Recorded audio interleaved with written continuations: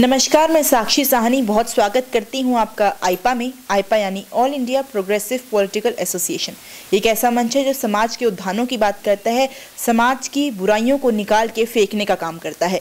इन्हीं विषयों पर बात करने के लिए हमारे साथ सामाजिक कार्यकर्ता उषा डिमरी जी मौजूद हैं। बहुत स्वागत है मैम आपका। थैंक यू मैम सबसे पहला सवाल मेरा ये है आईपा द्वारा एक मुहिम छिड़ी गई है जिसमें हम प्रगतिशील यानी प्रोग्रेसिव समाज की बात करते हैं। कैसे हम समाज में प्रगतिशीलता ला सकते हैं इस विषय पे बात करते हैं। आपके हिसाब से मैम समाज में प्रगतिशीलता कैसे लाई जा सकती है? आ, समाज में प्रगतिशीलता तो बहुत तरीकों से आ सकती है लेकिन पहले उन हमें हमें उन समस्याओं को समाप्त करना होगा। आ, हमारी जो कानून व्यवस्था है बहुत ही लचर है बहुत ही लचर। हमारी दूसरी जो न्याय व्यवस्था है उसके तो कहने ही कहा क्या मतलब? एक न्याय को लेने में 25 और 30 साल लग जाते हैं आदमी की जवानी उस पर ख़त्म हो जाती है। अगर हमारी कानून व्यवस्था सही सुधर जाए हमारी न्याय व्यवस्था सुधर जाए हमारा चिकित्सा विभाग सुधर जाए तो हमारा हमारा समाज स्वतः ही ठीक हो जाएगा स्वस्थ हो जाएगा कहीं कोई प्रॉब्लम नहीं होगी। और सामाजिक समस्या में तो आप ये लीजिए कि कानून व्यवस्था इतनी लचर है कि आज भी हमें अपनी बेटियों को ये बोलना पड़ता है बेटा जल्दी घर आ जाना। बेटी क्यों? मैं तो अपने बेटे से भी कहती हूँ कि बेटा टाइम से घर आ जाना। रास्ता खराब है कहीं पर भी कुछ हो सकता है। और समाज एक है समाज कल्याण विभाग।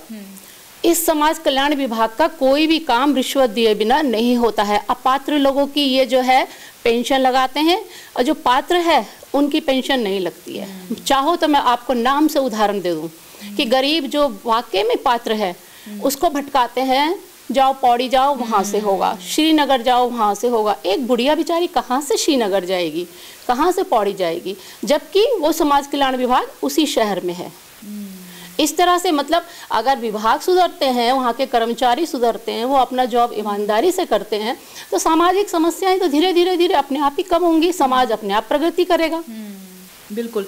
आ, बिल्कुल मैम कहीं ना कहीं हम ये भी देख सकते हैं कि व्यवस्थाओं का लचर होना तो कहीं ना कहीं एक बड़ी वजह है ही लेकिन साथ में नौकरशाही जो बेहाल है उसको भी इसका मुख्य कारण बता सकते हैं। लेकिन इसके अलावा जो एक वजह है मैम कि लोगों के अंदर भी कहीं ना कहीं जागरूकता की कमी है। जो नीतियाँ सरकार निकालती है जो व्यवस्था सरकार बनाती है क्यों जनता जाके उस सवाल नहीं पूछती? ये भी एक बड़ा सवाल हो सकता है। आ, जनता सवाल तब जाकर पूछेगी जब जनता तक वो फैसिलिटीज़ आएँगी वो जो आगे से सरकार कर रही है वो लास्ट व्यक्ति तक तो पहुँच ही नहीं रहा है। कई चीज़ें ऐसी जो मुझे खुद पता नहीं है कि मैं इसके लिए हकदार हूँ लेकिन मैं नहीं ले सकती हूँ। तो मैं सवाल तब ही कर पाऊँगी जब मुझे उसके बारे में जानकारी मुझ तक पहुंचेगी। तो वो ही है आ, सरकार ने बहुत अच्छी अच्छी योजनाएँ बनाई हैं समाज के लिए देश के लिए लेकिन वो योजनाएँ तो पहुँच ही नहीं रही है ना समाज तक। समाज के आखिरी गाँव तक नहीं पहुँच रही हैं समाज के आखिरी व्यक्ति तक नहीं पहुँच रही हैं। तो ये सब जो है कानून व्यवस्था को देखना है, सामाजिक व्यवस्था को देखना है, हमारे जो मंत्री हैं, हमारे जो पार्षद हैं, उन लोगों को ये देखना है कि उनकी ज़िम्मेदारी है कि आखिरी व्यक्ति तक हमारी योजनाएँ जाती हैं या नहीं जाती हैं। बिल्कुल उषा मैम, एक सवाल मेरा आपसे ये भी है कि हम देखते हैं कि जो भी लोग हैं सामाजिक बुराइयों में जो मिलीन हैं, उनको भी कहीं ना कहीं सही तरीके से जो है सज़ा नहीं मिल पाती, जो ऊँचे तबके के हैं या अच्छे बैकग्राउंड से बिलोंग करते हैं, वो फटाफट जो है निकल जाते हैं जेलों से, वो भी कहीं ना कहीं एक बड़ी सामाजिक बुराई हो सकती है। हाँ मैंने शुरू में ही कहा था कि हमारी न्याय व्यवस्था बहुत ही ज़्यादा लचर है और बलवान लोगों की बहुत पकड़ है। कानून व्यवस्था को वो कई बार ये कहते हैं कि कानून हमारी जेब में है। तो गरीब आदमी को तो न्याय कहीं नहीं मिलता है। वो तो ए से लेके जेड तक अगर गरीब व्यक्ति कहीं भी चला जाए, उसके लिए ना न्याय है, ना उसके हक है, ना उसको कोई फैसिलिटी है। चाहे वो एक इंजेक्शन उसको लगाना हो सरकारी हॉस्पिटल में, वो उसको नहीं मिलेगा। एक पहुँच वाले आदमी को पूरी फैसिलिटी मिलेगी, बेड मिलेगा और सब कुछ मिलेगा। गरीब आदमी को हॉस्पिटल से लौटा दिया जाता है। बेड नहीं है दवाइयाँ नहीं है इंजेक्शन नहीं है ऑक्सीजन नहीं है।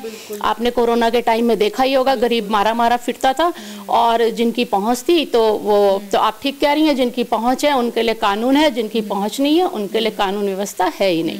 हम्म। बिल्कुल मैम, कहीं ना कहीं हम ये भी देख सकते हैं कि जब जो भी राजनीतिक दल हैं, क्योंकि कहीं ना कहीं समाज जो है राजनीतिक दलों से जुड़ा है, राजनीतिक दल जिस तरह से काम करेंगे, उसी उसी तरह से कहीं ना कहीं समाज चलेगा। लेकिन राजनीतिक दल कहीं ना कहीं धर्म के आधार पर लड़ाने की कोशिश कहीं ना कहीं हर किसी को करते हैं। हम देखते हैं जाति, धर्म, कस्बे की बातें होने लग जाती हैं, जबकि डेवलपमेंट की बात जो है होती हुई नज़र नहीं आती। हाँ ये आजकल एक आम समस्या हो गई है कि हर किसी झगड़े को, लड़ाई को तुरंत ही धार्मिक रूप दे दिया जाता है। थोड़ी सी दो बच्चों में मारपीट हो गई, तूता हो गई तो वो एकदम से धार्मिक रूप ले लेती है। ये एक नया प्रचलन शुरू हो गया है हम मेरी तो सारी फ्रेंड ही दूसरी जाति और धर्म की थी। हमें तो मतलब बीए करते करते तक पता नहीं चला कि ये नाहिद रहमान है। तो ये मतलब दूसरे धर्म की है। हमारे घर आना जाना खाना पीना सब कुछ साथ में होता था। लेकिन अभी अभी हम लोग ये नोट कर रहे हैं कि इस तरह से कोई भी माहौल हो कोई भी आपस का झगड़ा हो धार्मिक रूप ले लेता है। हमें मतलब जो हम पढ़े लिखे लोग हैं हम समझ रहे हैं। लेकिन जो नीचा तबका है जिसको मतलब जिसके कान भर दिए जाते हैं वहाँ पर वो लोग मतलब वो सीधे साधे लोग उस चीज़ को आत्मसात कर लेते हैं कि हाँ हाँ ये ऐसा ही हो रहा है हम्म। लेकिन जो पढ़ा लिखा तबका है वो समझ रहा है कि क्या हो रहा है क्या होना चाहिए हम्म। युवाओं से जुड़ा भी मैम मेरा एक सवाल है। युवाओं के लिए दो कहीं ना कहीं विषय मेरे पास इस समय है। पहला विषय तो ये है युवाओं में बढ़ती जो नशे की प्रवृत्ति है उसको क्यों सरकार कम करती हुई प्रशासन की जो सुविधाएँ हैं उससे नहीं कम किया जाता? क्योंकि देखिए युवा जो है किसी भी देश का प्रदेश का रीढ़ की हड्डी होती हैं और क्यों हम हर चीज़ की व्यवस्था बना लेते हैं लेकिन इस व्यवस्था पे कहीं ना कहीं हाथ खड़े कर देते हैं युवाओं में जो नशे की लत है। दूसरा मैम हम देख सकते हैं कि युवाओं जब वोट देते हैं तो उस समय कहीं ना कहीं उनके मन में असमंजस बहस होती है कि किसको वोट दिया जाए और कहीं ना कहीं प्रतिनिधि जो है वो ठीक तरीके से नहीं कर पाते। अच्छा आप ये कहना चाहती हैं कि युवा मतलब नशे की चपेट में ज़्यादा है। अब मैं फिर वही बात कहूँगी हमारी सरकार जो है दो विभाग चलाती है। एक तो है मध्य निषेध शराब नहीं पियो। एक तरफ़ शराब के ठेके देती है। उसके दो विभाग चलते हैं। मद्य निषेध विभाग भी खूब चल रहा है और आवंटन शराब की दुकानों का भी खूब हो रहा है। तो और दूसरा ये है कि बच्चे हमारे आजकल डिप्रेशन में तनाव में ज़्यादा हैं। तो उन्हें लगता है कि नशा करके और शराब पीकर वो अपना तनाव कम कर सकते हैं। इसमें उनके परिवार को उनकी हेल्प करनी चाहिए। और आजकल तो साइकोलॉजिस्ट वगैरह हैं बहुत सारे लोग हैं उनके पास मतलब माँ बाप माँ बाप की ही ज़िम्मेदारी है वो अपने बच्चे को देखें कि उनका बच्चा आ, किस तरफ़ जा रहा है उसकी लाइन और लेंथ किस तरफ़ जा रही है हम्म। तो अगर माँ बापों की पकड़ अपने बच्चों के ऊपर सही होगी तो बच्चा मतलब डिप्रेशन में नहीं जाएगा उसे किसी प्रकार के नशे का सहारा नहीं लेना पड़ेगा हम्म, हम्म।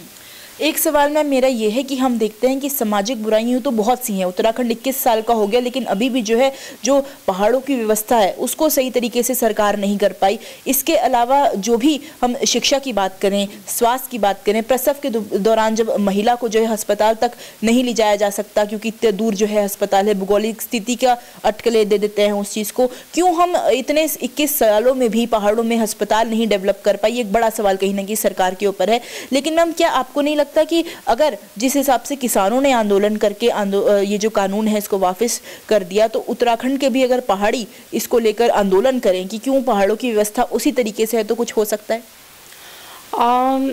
आप ये आप ये पूछ रही हैं कि मतलब चिकित्सा जो है सुविधाएँ हमारे गढ़वाल में बहुत कम है हम्म। हाँ आप सही बोल रही हैं कम है। ये है हमारे राजनीतिक दलों की इच्छा शक्ति की कमी। हम्म। पैसे की कमी नहीं है इच्छा शक्ति की कमी है। गवर्नमेंट मतलब अपने आ, मंत्रियों को फटाफट विभागों को चेंज कर रही है। अगर कोई सोच भी रहा होगा तो वो उस काम को कर नहीं पाता। दूसरा हमारी प्राकृतिक समस्या भी है कि हमारा गढ़वाल ही आ, मतलब पूरा गढ़वाल इस तरह से डेवलप है या कुमाऊं क्षेत्र की मतलब हम लोग एक साथ सब कुछ वहाँ पर डेवलप नहीं कर सकते हैं। हम्म। हमारा एक एक मटीरियल शहर से गाँव की तरफ़ जाएगा। लेकिन जो होना चाहिए था 21 साल में पूरा नहीं तो कम से कम आधा तो होता। तो वही है, मंत्रियों के पास इच्छा शक्ति की बहुत कमी है और इस वजह से वो जगह जगह हॉस्पिटल्स नहीं खोल पाए और उसकी वजह से हमारे गाँव खाली हो रहे हैं और जो कुछ लोग बचे कुछ गाँव में हैं भी, उन्हें बहुत समस्याओं का सामना करना पड़ रहा है। महिलाओं की स्थिति पर अगर हम मैम बात करें, चर्चा करें तो महिलाओं की स्थिति भी खासा अच्छी हमें नज़र नहीं आती, क्योंकि हम देखते हैं कि शाम वक्त होते ही कहीं ना कहीं महिला घर से निकलने से संकोचित होती हैं। उसके अलावा हम केसेस सुनते हैं, बहुत से जहाँ बच्चियों के साथ बलात्कार होता है और इस तरह की तमाम जो है अपराध महिला के साथ होते हैं, इसके बारे में क्या कहना चाहिए इसके बारे में मैं शुरू में ही बोल चुकी हूँ कि हमारी कानून व्यवस्था बहुत ही लचर है। हम तो अपने बच्चों को ही कहते हैं कि टाइम से घर आए वो घर पहुँचें। तो आ, महिलाओं के लिए प्रॉब्लम वाली बात तो है ही कि हमारा जो पुलिस विभाग है जिसके ऊपर ये ज़िम्मेदारी है दूसरा हमारे अपने घर में खुद हिंसा हो जाती है महिला के ऊपर। तो वहाँ पर भी मतलब व्यक्ति को समाज को कॉलोनी को आ, सामने आना चाहिए कि भाई आपके घर में ये महिलाओं के प्रति हिंसा क्यों हो रही है? हम इस बात को आगे लेकर चले जाएँगे। और जो राह चलती महिलाओं के साथ होता है कि चेन छीन ली कुंडल छीन लिए ये हमारी कानून व्यवस्था की कमी है। आ, मतलब कैमरे लगने चाहिए देहरादून की बात नहीं कर रही हूँ सारे गढ़वाल उत्तराखंड की बात कर रही हूँ। कि कानून व्यवस्था चाक चौबंद होनी चाहिए। पुलिस की इतनी भी कमी नहीं है कि मतलब ये कहा जाए कि विभाग में बहुत कमी हो गई है और आ, मतलब इस तरह से तब ये सारी घटनाएँ हो रही हैं। नहीं महिलाओं को भी सतर्क रहना चाहिए और आ, हमारी कानून व्यवस्था को भी सतर्क रहना चाहिए। एक सवाल मैम मेरा ये है, इसी विषय को लेकर कि कानून व्यवस्था सुधरती नहीं तो क्यों हम घर से ही उसकी शुरुआत करते? क्योंकि मैम देखिए स्मार्टफोन्स हर किसी के पास हैं। स्मार्टफोन्स में हम देखते हैं कि तमाम जो छोटे छोटे बच्चे हैं, अभद्र चीज़ें देखते हैं, गलत चीज़ों चीज़ें देख के कहीं ना कहीं मानसिकता गलत डेवलप होती है। वो भी एक वजह है और दूसरी वजह जिस हिसाब से हमने अभी पहले वाले प्रश्न में डिस्कस किया था कि कहीं ना कहीं नशा भी इसकी एक मुख्य वजह हो सकती है, क्योंकि जो भी मुख्य तौर पर अपराध होते हैं, वो नशे की लत में होते हैं। तो इसके लिए क्या कोई सख्त कानून होना चाहिए कि फ़ोन्स को लेकर भी और नशे को लेकर भी? ये भी का कोई विकल्प हो सकता है? देखो सामाजिक व्यवस्था में अगर देखा जाए तो बच्चे की पहली पाठशाला उसका अपना घर है। अगर हम लोग बच्चे को एंड्रॉयड फ़ोन दे देंगे ही नहीं तो फिर बच्चा उन सब चीज़ों को देखेगा कहाँ से? मैं बहुत सारी फैमिलीज़ को जानती हूँ जहाँ बच्चे इंटर में पहुँच गए हैं। उन्हें अभी इस फ़ोन के बारे में कुछ पता नहीं है। उन्होंने लैंडलाइन फ़ोन ले रखे हैं अपने बच्चों के लिए। वो अपने दोस्तों से लैंडलाइन फ़ोन से बात करते हैं। तो वो एक अच्छी पाठशाला उनके घर से शुरू हो रही है। लेकिन जहाँ पर माँ बाप अपना मतलब शो करने के लिए कि मेरे बच्चे के पास बीस हज़ार का फ़ोन है पच्चीस हज़ार का फ़ोन है वहाँ पर बच्चे बिगड़ेंगे ही। क्योंकि आप उनके वो ऐप ब्लॉक नहीं कर सकते हैं जो वो देखना चाह रहे हैं या जो वो अपने दोस्तों के साथ देख लेते हैं। तो पहली पाठशाला में तो माँ बाप ही आते हैं वही उनके गुरु हैं वही अपने बच्चों को समझाएँ कानून इसके बाद में आता है। हाँ कानून व्यवस्था होनी चाहिए कि भाई बच्चों को इतनी छोटी उम्र से ये फ़ोन ना दिए जाएँ लेकिन कोरोना ने तो सारे छोटे छोटे बच्चों को भी ये फ़ोन पकड़ा दिए हैं। तो ये वक्त की मांग है कि बच्चे फ़ोन से पढ़ाई करें लेकिन पढ़ाई करने तक ही उनको फ़ोन दिया जाए उसके बाद ना दिया जाए। हम्म। बिल्कुल सही बात कही मैम आपने कि वक्त की मार है कि हमें फ़ोन्स का तो उपयोग करना ही पड़ेगा और डिजिटल होना कहीं ना कहीं गलत नहीं है। लेकिन मैम मुझे जहाँ तक व्यक्तिगत तौर पे लगता है कि अगर खुली सोच हो अगर हम सेक्स एजुकेशन अपने बच्चों को दें उसके बारे में जागरूक करें तो हो सकता है कि ये अपराध रोक रोके जा सके। इसके बारे में तो बहुत सालों से बहस हो रही है कि ये चैप्टर स्कूल में पढ़ाया जाए या न पढ़ाया जाए। तो ये तो बहुत इसमें तो मतलब अभी बहुत डिस्कस चल रहा था अपर लेवल की तरफ़ से। लेकिन जहाँ तक आप मुझसे पूछ रही हैं तो हाँ ये शिक्षा आनी चाहिए लेकिन इतनी छोटी उम्र में भी नहीं कि फोर्थ फिफ्थ के बच्चों को आप इस बारे में पढ़ा रहे हैं। थोड़ा नाइन्थ टेंथ के बच्चों से आप पढ़ाना शुरू कीजिए और उन्हें बताइए तो ये जो एनजाइटी उनकी इसकी तरफ़ होती है वो एनजाइटी उनकी खत्म होगी और वो समझेंगे कि भी ये एक शारीरिक विज्ञान है। इसको वो पढ़ लेंगे, समझ लेंगे तो उस तरह के अपराध की तरफ़ नहीं जाएँगे हम्म।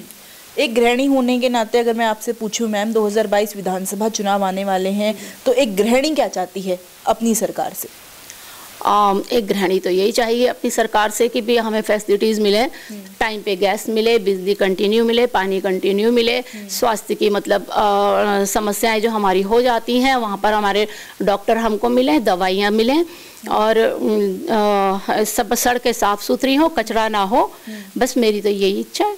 देहरादून सुंदर है हमारा उत्तराखंड सुंदर दिखे और बाहर से जब लोग आए तो हमारे उत्तराखंड की तारीफ़ करते हुए जाएँ। एक सवाल मैम आखिरी आपसे कि आईपा द्वारा जो ये मुहिम चलाई गई है जिसमें हम प्रगतिशील राजनीति की प्रगतिशील समाज की बात करते हैं समाज के उद्धानों की बात करते हैं इस कोशिश को आप किस तरीके से देखती हैं? और अगर इस कोशिश के लिए आपका कोई मार्गदर्शन आईपा को मिल जाए। आ, आप बहुत अच्छा कार्य कर रहे हैं। इसमें आप आ, मतलब मेहनत कर रहे हैं आपकी हम्म। ईमानदारी इसमें है आपकी इच्छा शक्ति इसमें है तो आप बहुत अच्छा काम कर रहे हैं हम्म। और सुझाव में आपको क्या दूँ आप सब लोग बहुत पढ़े लिखे हैं समझदार हैं हम्म। तो आगे क्या कहूँ आपको शुभकामनाएँ दे सकती हूँ कि आप अच्छा अच्छा कार्य करें और समाज के उत्थान के लिए अपने अब जो आपकी भूमिका है उसको अच्छी तरह से निभाएँ आईपा के साथ जुड़ने के लिए धन्यवाद हाँ धन्यवाद आप सबका धन्यवाद ये थी सोशल एक्टिविस्ट उषा डिमली जी हमारे साथ, जिन्होंने विभिन्न मुद्दों पर हमसे बातचीत करी। साथ में बताया कि समाज कल्याण तभी हो सकता है जब हम अपनी सोच का कल्याण करें, जब हम अपनी सोच को इतना ब्रॉड कर दें कि हम किसी भी गलत चीज़ के लिए प्रमुखता से जो है अपनी आवाज़ उठा पाएँ। अगर आईपा का ये प्रयास आपको अच्छा लगता है तो हमारी वीडियो को लाइक करें, हमारे चैनल को सब्सक्राइब करें। धन्यवाद।